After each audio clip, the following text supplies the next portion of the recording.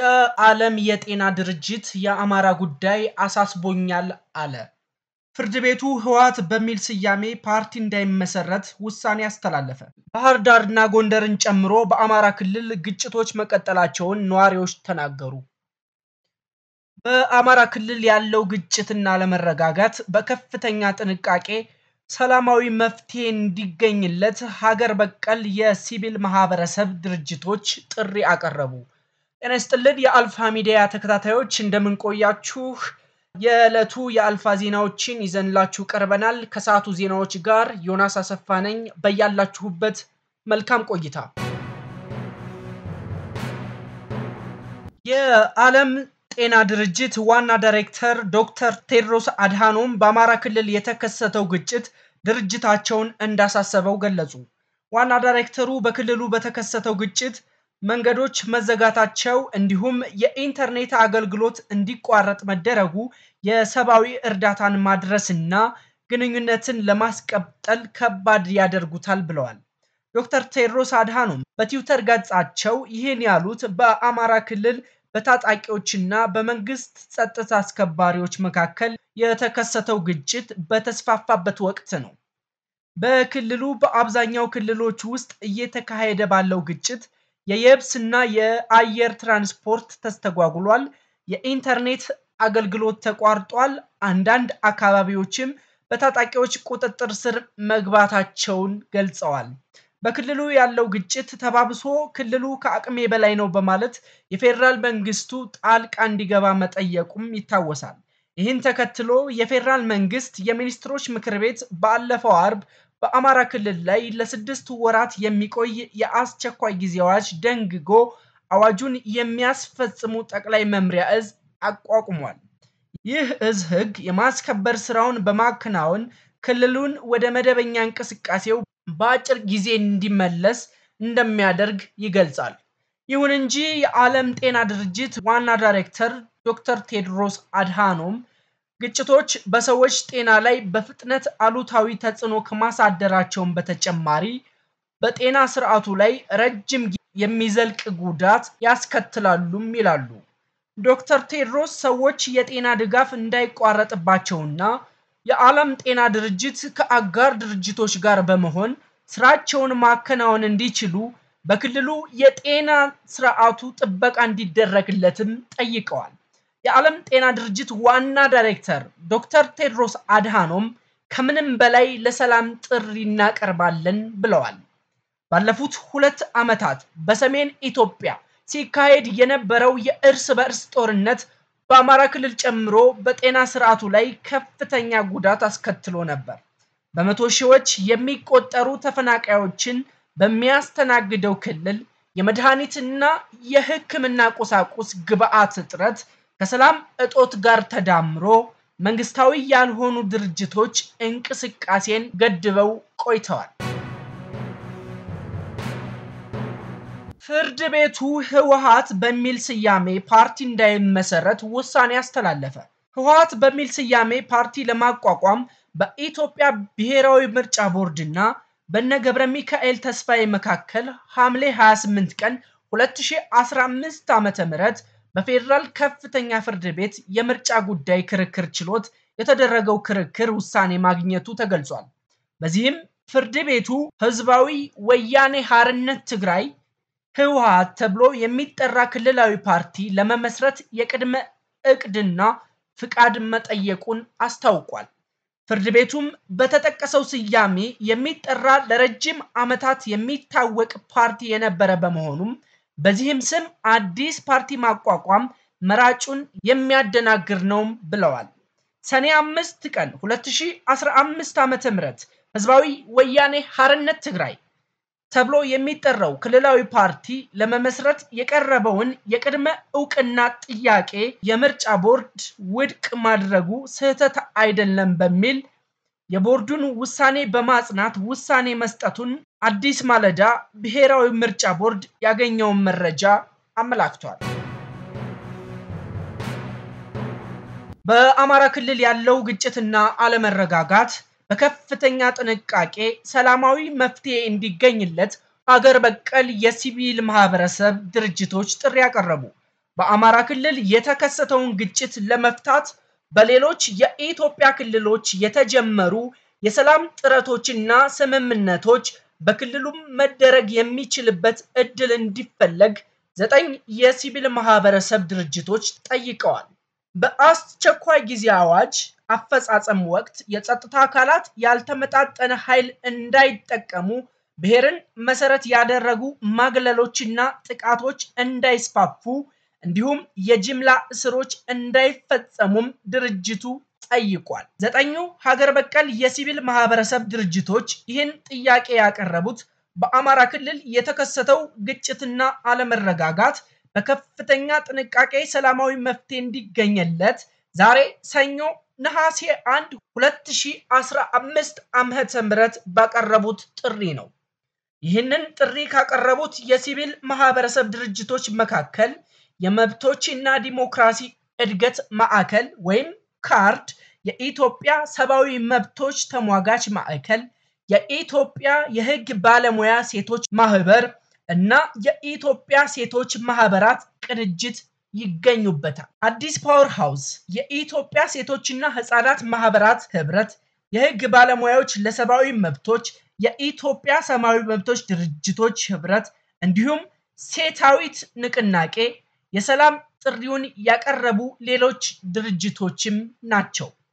ግጭቶችን የመከላከልና ሰላም የማስፈን ጥረት ጊዜ የማይሰጠው አንገብጋቢ ጉዳይ መሆኑን እናምናለን ያሉት ድርጅቶቹ በአማራ ክልል የተፈጠረው ግጭት እጅግ እንዳሳሰባቸው በመግለጫቸው ላይ ጠቅሰዋል። የሲቪል ማህበረሰቡ ድርጅቶች ግጭቶች ከጊዜ ወደ ጊዜ እየሰደዱና እየተስፋፉ መሆኑን ያነሱ ሲሆን በዚህም ምክንያት ግጭቶችን ለማስቆም የሚወሰዱ እርምጃዎች የብዝሃንን ደህንነት፣ የዜጎችን ሰብአዊ መብቶችና ነፃነቶች አደጋ ላይ የማይጥሉ መሆን አለባቸው የሚል እምነት እንዳላቸው ገልጸዋል። ድርጅቶቹ በዛሬው መግለጫቸው የመብት ጥሰት ስጋታቸውን ካንጸባረቁባቸው ጉዳዮች ውስጥ የአስቸኳይ ጊዜ አዋጅ አፈጻጸም ጉዳይ አንዱ ነው። ሀገር በቀል የሲቪል ማህበረሰብ ድርጅቶቹ በአስቸኳይ ጊዜ አዋጅ አፈጻጸም ወቅት የጸጥታ አካላት ያልተመጣጠነ ኃይል እንዳይጠቀሙም ሲሉም ጠይቀዋል። በአስቸኳይ ጊዜ አዋጅ አፈጻጸም ሂደት ውስጥ ብሔርን መሰረት ያደረገ ማግለሎችና ጥቃቶች እንዳይስፋፉ እንዲሁም የጅምላ እስሮች indiscriminate mass arrests እንዳይከናወኑም ጥሪ አቅርበዋል። የሚኒስትሮች ምክር ቤት በአለፈው አርብ የደነገገውን የአስቸኳይ ጊዜ አዋጅ ተከትሎ ከዚያኑ ዕለት አንስቶ በአማራ ክልል ከተፈጠረው የጸጥታ መደፍረስ ጋር ግንኙነት አላቸው ጉዳዮቹን የሚያባብሱ ስምሪት የሚሰጡ የተባሉ ግለሰቦችን በቁጥጥር ስር መዋል እንደተጀመረ የመንግስት ኮሚኒኬሽን አገልግሎት ማስታወቁ ይታወሳል። የአስቸኳይ ጊዜ አዋጁን የሚያስፈጽመውን ጠቅላይ መምሪያ እዝ በዋናነት ሰብሳቢነት የሚመሩት ተመስገን ጥሩነህ ትናንት እሁድ በሰጡት መግለጫ በቀጣይ ቀናት የሚወሰዱ እርምጃዎች እንደሚኖሩም ጠቁመዋል። ባህር ዳር እና ጎንደር ከተሞችን ጨምሮ በአማራ ክልል ግጭቶች መቀጠላቸውን ነዋሪዎች ተናገሩ። በባህር ዳር እና ጎንደር ከተሞች ጨምሮ በተለያዩ የአማራ ክልል አካባቢዎች በታጣቂዎችና በመንግስት ጸጥታ አስከባሪዎች መካከል የሚደረገው ግጭት መጠናከሩን ነዋሪዎች ለቢቢሲ አማርኛ ተናገሩ። በመዲናዋ ባህር ዳር ጨምሮ በታሪካዊቷ ጎንደር አንዳንድ አካባቢዎች ከባድ የተባለ ግጭት እንዳለ ቢቢሲ ያነጋገራቸው ነዋሪዎች ገልጸዋል። በመንግስት ጸጥታ አስከባሪ ኃይሎችና በፋኖ ታጣቂዎች መካከል ግጭት መባባሱ የተሰማው የፌዴራል መንግስት በአማራ ክልል የተፈጠረውን የጸጥታ መደፍረስ በአጭር ጊዜ እቆጣጠራለሁ ባለበት ወቅት ነው። ባለፈው ሳምንት መጨረሻ ላይ የተጣለውን የአስቸኳይ ጊዜ አዋጅ የሚያስፈጽመው ጠቅላይ መምሪያ እዝ በዘራፊ ወንበዴ ቡድን የታወከውን ሰላም በህግ ማስከበር እርምጃ ክልሉን ወደ መደበኛ እንቅስቃሴው በአጭር ጊዜ መልሰዋለሁ ማለቱ የሚታወስ ነው። የአስቸኳይ ጊዜ አዋጅ ጠቅላይ መምሪያ እዝ ዋና ሰብሳቢና የብሔራዊ መረጃና ደህንነት አገልግሎት ዋና ዳይሬክተር አቶ ተመስገን ጥሩነህ በአማራ ክልል የተከሰተውን ችግር ለመፍታት ክልሉን በአራት ኮማንድ ፖስቶች በማዋቀር ሕግን የማስከበር ስራ እንደሚከናወን እሁድ ምሽት በሰጡት ማብራሪያ ላይ ተናግረዋል። ይህ በእንዲህ እንዳለ ለፋኖ ታጣቂዎች ቅርበት ያላቸው አንቂዎችና መገናኛ ብዙሃን የፋኖ ታጣቂዎች የአማራ ክልል መዲና የሆነችውን ባህር ዳር ከተማን በከፊል መቆጣጠራቸውንና በከተማዋ በሚገኘው የአየር ማረፊያ እንዲሁም በክልሉ መገናኛ ብዙሃን አቅራቢያ ከፍተኛ የመንግስት ሰራዊት መስፈሩን ገልጸዋል። የክልሉ መዲና ባህር ዳር ትናንት እሁድ ከፍተኛ የተኩስ ልውውጥ ሲደረግባት መቆየቱን ነዋሪዎች ለቢቢሲ ተናግረዋል። ቢቢሲ ከባህር ዳር ያነጋገራቸው ነዋሪዎች እንደገለጹት ከሆነ በከተማዋ በተለይም እሁድ ከሰዓት በኋላ ከፍተኛ የተኩስ ልውውጥ ሲካሄድ ነበር ብለዋል።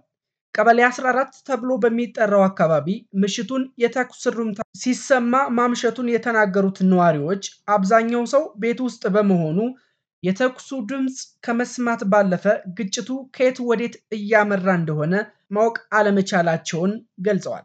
እሁድ ተኩሱ ከመጀመሩ በፊት አካባቢውን ለመቃኘት ከቤታቸው ወጥተው እንደነበር የሚናገሩት ነዋሪዎች የከተማዋ መንገድ በድንጋይና በእንጨት መዘጋቱና የነዋሪዎች ሆነ የታጣቂ ሰዎች እንቅስቃሴ እንዳይታይ ይናገራሉ። ቢቢሲ ያነጋገራቸው እኚህ የባህር ዳር ነዋሪ የመንግስት ሰራተኞች ሲሆኑ በጸጥታው ምክንያት ሁሉም እንቅስቃሴ ስለተገደበ ወደ ስራ ቦታ መሄድ የሚታሰብ አይደለም ብለዋል። ካለፈው ሳምንት ማብቂያ ጀምሮ ውጥረት ውስጥ ያለችው ጎንደር እሁድ ሐምሌ 30 2015 ዓ.ም በከተማዋ ውስጥ ከባድ የሚባል ውጊያ መካሄዱንም ነዋሪዎች ይናገራሉ። አንዳንድ የጎንደር ማዕከላዊ ቦታዎች በስፋት በፋኖ ቁጥጥር እንደሚገኙና በከተማዋ ዳርቻ ባሉ ቦታዎች ደግሞ የመንግስት መከላከያ ሰፍሮ እንደሚገኝ ይገልጻሉ። እሁድ በጎንደር ፒያሳና ብልኮ ተብሎ በሚጠሩት የከተማዋ አካባቢዎች እየተካሄደ የነበረው ተኩስ ልውውጥ እያየለ መጥቶ እንደነበረም ተናግረዋል። ለደህንነታቸው ሲባል ስማቸው እንዲጠቀስ ያልፈለጉ ነዋሪዎችም በዛሬውም ዕለት የተኩስ ድምፅ ሲሰማ እንደዋለም ተናግረዋል። ነዋሪዎቹ በአሁኑ ወቅት በከተማዋ ባለው የጸጥታ ስጋት ምክንያት የሰዎች እንቅስቃሴ በከፍተኛ ደረጃ ተገድቦ እንደሚገኝም አስረድተዋል። ባለፈው ሳምንት አጋማሽ ላይ ግጭቶች የተካሄደባት ታሪካዊቷ ላሊበላ ከተማ በአሁኑ ወቅት አንጻራዊ ሰላም መኖሩን ነዋሪዎች ለቢቢሲ ተናግረዋል። ባለፈው ሳምንት ከከተማዋ 25 ኪሎ ሜትር ርቀት ላይ የሚገኘው የሹምሽሃ አየር ማረፊያ በፋኖ ታጣቂዎች ቁጥጥር ስር መግባቱን ተከትሎ በከተማዋና አካባቢው ከፍተኛ ውጥረት ነግሶ እንደነበር ነዋሪዎች ይናገራሉ። ይሁን እንጂ ቢቢሲ ያነጋገራቸው ነዋሪዎች እንዳሉት እንዳሉት እሁድም ሆነ ዛሬ ሰኞ በላሊበላ ከተማና እና በዙሪያዋ የተኩስ ድምፅ አልተሰማም፣ የተለየ የጸጥታ ችግርም አልገጠመውም ብለዋል። ነገር ግን በስተሰሜን በኩል ከሰቆጣ አቅጣጫና በደቡብ ደግሞ ሐሙሲት ተብሎ በሚጠራው አካባቢ የከባድ መሳሪያ ድምፅ ከርቀት እንደሚሰማ ነዋሪዎች ተናግረዋል። ቢቢሲ ያነጋገራቸው ከአዲስ አበባ 130 ኪሎ ሜትር ርቀት ላይ የምትገኘው የደብረ ብርሃን ከተማ ነዋሪዎች እንደተናገሩት እሁድ ዕለት በከተማዋ ዙሪያ የጥይት ተኩስ ድምፅ ይሰማ የነበረ ሲሆን ወጣቶችም ወደ ጎዳናዎች በመውጣት ተቃውሞ ሲያሰሙ ነበር ብለዋል። ከደብረ ብርሃን ወደ አዲስ አበባ የሚወስደው ዋና መንገድ ዝግ መሆኑን የተናገሩት ነዋሪዎች በከተማዋ ውስጥ ያለው እንቅስቃሴ ውስን መሆኑን ጨምረው ተናግረዋል። በስጋት ውስጥ ነው ያለነው የሚሉት ነዋሪዎቹ ዛሬ ማለዳም በከተማዋ ያለው ሁኔታ ከእሁድ የተለየ አለመሆኑን ገልጸዋል። የሰሜን ወሎ ዞን ዋና ከተማ በሆነችው የወልዲያ ነዋሪዎች በከተማዋ የተኩስ ድምፅ ባይኖርም አገልግሎቶች ዝግ መሆናቸውንና እንቅስቃሴዎች መገታታቸውን ገልጸዋል። ከተማዋ ያለችበትን ሁኔታ ለቢቢሲ የገለጹት ነዋሪዎቹ ዛሬ ሰኞ ነሐሴ አንድ ነሐሴ አንድ ላይ በከተማዋ የመንግስት ሆነ የግል ተቋማት ሙሉ በሙሉ ዝግ ናቸው ብለዋል። በከተማዋ የመከላከያ ሰራዊት እየተንቀሳቀሱ መሆንና በአንዳንድ ቦታ የሚሰበሰቡ ወጣቶችን በኃይል እየበተኑ መሆኑንም ተናግረዋል። ተመልካቾቻችን ለሰዓቱ የያዝንላችሁ ዜናዎች እኚህን ይመስሉ ነበር። ስለተከታተላችሁን እናመሰግናለን። በያላችሁበት መልካም ጊዜ